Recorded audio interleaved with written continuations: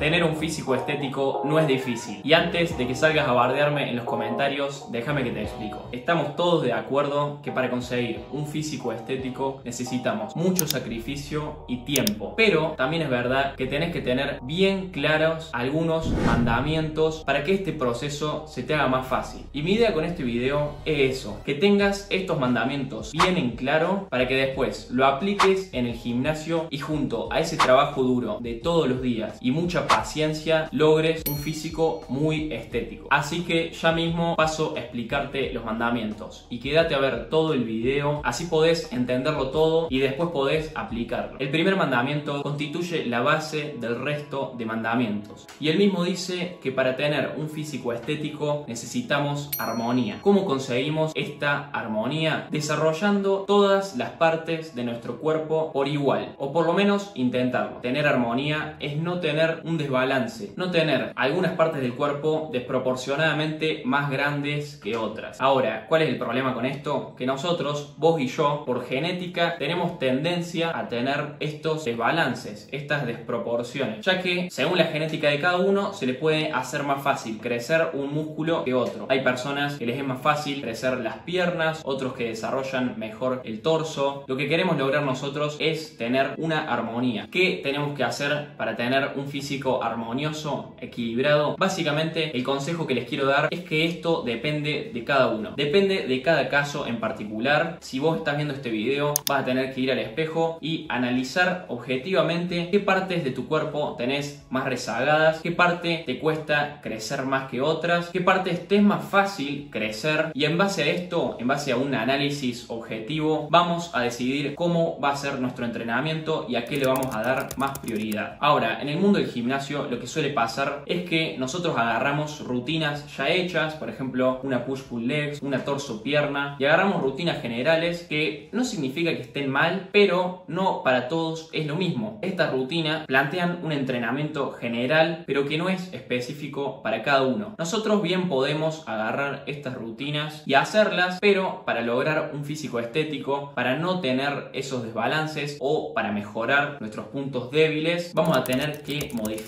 Si notas que te cuesta mucho desarrollar los brazos, por ejemplo, vas a tener que darle prioridad a eso en tus entrenamientos. Entonces, si agarras una torso-pierna que dice que tenés que hacer press banca primero, lo puedes hacer un día, ya que es un ejercicio básico y multiarticular, pero otro día de torso podés meter primero los ejercicios de brazo. Porque ¿qué pasa con estas rutinas? Que todas siguen una línea general. Siguen una línea en la que al principio ponen ejercicios básicos, multiarticulares, después ponen secundarios y después ponen accesorios, que por lo general la rutina va de los músculos más grandes a los más chicos. Entonces siempre entrenamos, por ejemplo, pecho primero, después otra variante de pecho o un secundario y dejamos los brazos para el último cuando estamos muy fatigados. ¿Qué pasa? Si te cuesta crecer los brazos, esto no te va a convenir porque vas a agarrar los brazos a una altura del entrenamiento en donde ya estás muy fatigado. Por eso lo que te recomiendo es que si notas que tenés un punto débil, que te cuesta crecer alguna parte específica del cuerpo, le metas prioridad a eso. No queda otra. Así que como te digo, mi consejo en este punto es que analices cuáles son tus puntos fuertes y tus puntos débiles y en base a eso determines las prioridades en tus entrenamientos. Ahora, dicho esto, podemos decir que hay músculos generales que nos van a hacer lograr un físico estético, justamente porque son los músculos que más armonía dan y que mejor se ven visualmente. ¿Cuáles son estos músculos? Bueno, ponete a pensar qué tienen en común físicos como el de David Lade, como el de Jeff Sade o un físico como el mismísimo Chris Bumstead. Como saben, David Lade, Jeff Sade son los denominados aesthetic y Chris Bumstead compite en la categoría de Classic Physique. ¿Qué es lo que se evalúa acá? Básicamente sí, tenés que estar gigante, pero se evalúa la armonía del cuerpo. Lo que hace que estos físicos sean tan estéticos y lo que queremos lograr básicamente es esta forma en B que da una tremenda estética. ¿Qué músculos conforman esa forma de B? Básicamente los hombros laterales y los dorsales. Lo que nos va a dar esta forma va a ser una cintura estrecha y unos hombros laterales y dorsales lo más desarrollados posible. Y aunque no tengas una cintura muy estrecha por genética, de igual forma desarrollando mucho la espalda y los hombros laterales vas a poder lograr esa forma de B que todos queremos. Ahora, como dije en el mandamiento, en el punto número uno, le vamos a tener que dar prioridad a esto vamos a tener que darle mucha frecuencia. Yo creo que lo más importante en esto va a ser el tema de los hombros. Tener unos hombros que sobresalgan de tu cuerpo va a ser fundamental. Tenemos la suerte de que el hombro lateral sea un músculo relativamente chico y al ser relativamente chico le podemos dar mucha frecuencia. Tenemos que darle al hombro lateral literalmente a quemar muchas series, mucho volumen de entrenamiento y es un músculo que se recupera rápido, así que le podemos dar frecuencia 2 o 3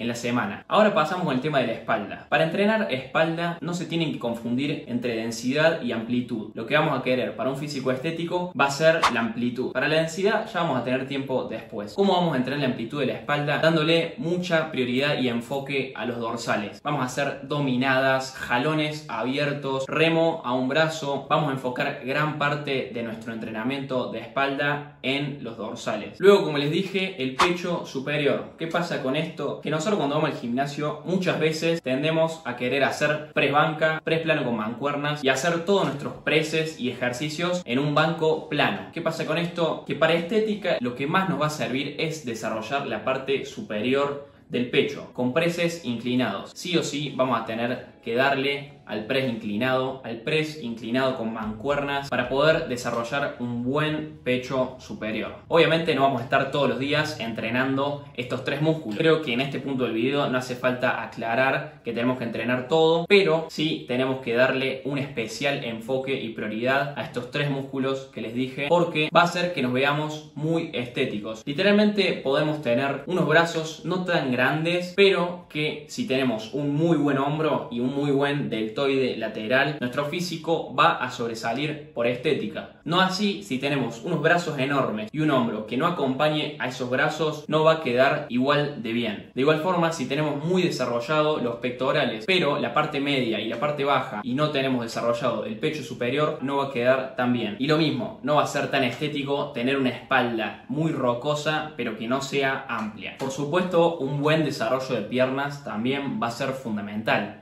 No queremos estar enormes arriba y abajo tener dos fideos de piernas porque literalmente vamos a hacer unos flamencos. Entonces, igual de importante que darle prioridad a estos tres músculos va a ser tener un buen desarrollo de piernas, sobre todo unos buenos cuádriceps y unos buenos glúteos. Para que entiendan la importancia de esto, les traigo un ejemplo. ¿Se acuerdan en el colegio o en nuestro grupo de amigos? Ese amigo, y vos decías, amigo, este chabón está ancho, este chabón tiene muy buen físico, o sea, no está completamente rajado, pero tiene un físico estético. Y eso es porque seguramente este amigo tenía una muy buena espalda, una espalda amplia y unos muy buenos hombros. Después, teniendo en cuenta que tenemos que darle prioridad a estos músculos, también tenemos que entender que para tener un físico estético tenemos que tener baja grasa corporal. No tenemos que estar pasados de peso porque literalmente no se van a ver nuestras formas. Pero mucho cuidado con esto, porque para tener ese buen tamaño y esa buena definición muscular, primero tenemos que construir el músculo y para esto meternos en un volumen y lo que nos va a pasar en este momento es que puede ser que nos tapemos. ¿Qué pasa? Que esto es una etapa necesaria para después sacar toda esa grasa, hacer una definición y quedar estéticos. Pero como les digo, si nunca ganamos esa masa muscular, no va a haber ningún músculo que definir. Así que si están en volumen, no se preocupen porque están yendo por el buen camino. Están construyendo ese músculo para después definirlo. Y por último, un consejo personal que les quiero dar es que no se comparen con los físicos más estéticos que vean. No digan quiero tener el físico de David Day, quiero tener el físico de Jeff Say, porque estos son físicos